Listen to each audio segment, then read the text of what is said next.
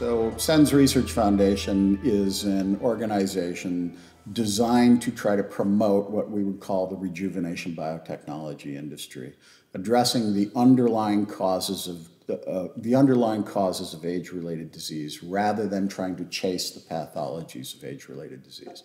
Because we think it is a more efficient way to do medicine and because we think it'll be a more effective way to do medicine.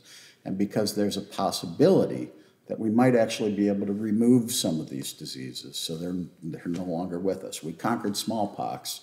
It's possible we could conquer heart disease. It's possible we could conquer cancer. It'd be pretty hard. Cancer's a pretty difficult one. Uh, SENS Research Foundation has three basic components. We do research, we do education, and we do outreach. The outreach is happening right now at our Undoing Aging conference here in Berlin that's happening right next door uh, where we've been in researchers that we funded and researchers that collaborate with us and researchers from out in the community, and we try to mix them and their cool projects with uh, other collaborators and with investors who are getting more and more interested in this industry because they're seeing that there's some really positive answers here that you can't really answer in a more classical pharmaceutical biotech industry. The education program is uh, uh, historically has been student internships for summer interns. That's a very competitive program.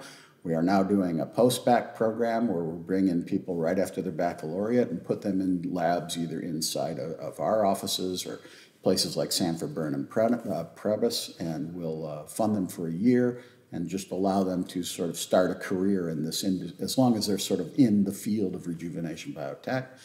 And um, uh, what have I mentioned? So, the research, of course. research, education, and outreach, I'm doing them backwards.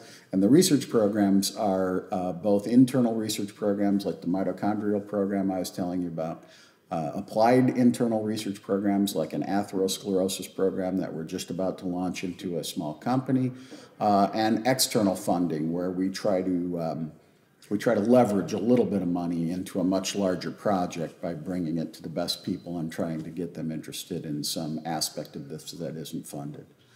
We focus, I mean, we don't have a lot of money, so we focus basically in two areas. And we're not trying to do everything in research because there's, there's, there's seven basic kinds of damage that are occurring in your body that are a natural part of being alive, but there's you know, the subcomponents are probably hundreds that you're going to have to manage, and then hundreds of age-related conditions that you want to try to address. So it's a very, very big project. We're talking about trying to build an industry.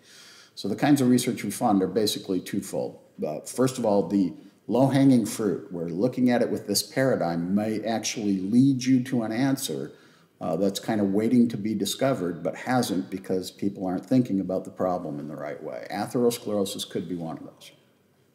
And the other is research projects that are addressing an area that there we really can't see any research happening in right now. And we're just trying to light a little spark, get a little fire going so that people will get maybe a publication or two to get enough interest out there so that people will start to do grant funding applications and the like to try to get a, a field of research going.